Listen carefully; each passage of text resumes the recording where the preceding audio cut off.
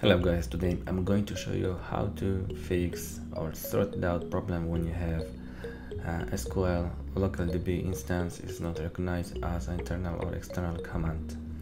So everything what you need to do is just uh, click the link below that video and, download SQL server, server or type SQL Server Express uh, local DB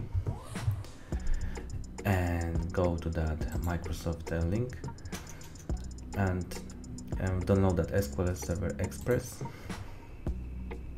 After when you finish download, just click it. And next step, I'm gonna be wait.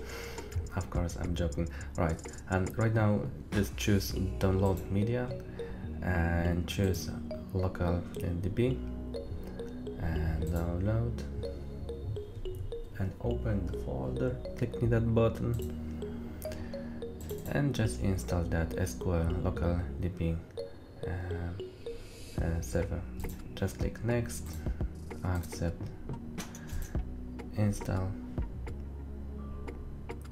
Yes. Alright and finish and right now as you can see.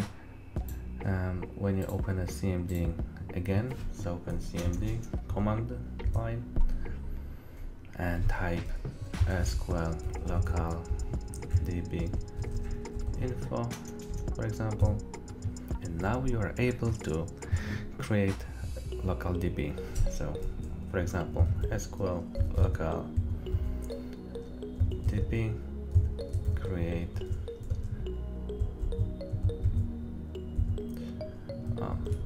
doesn't matter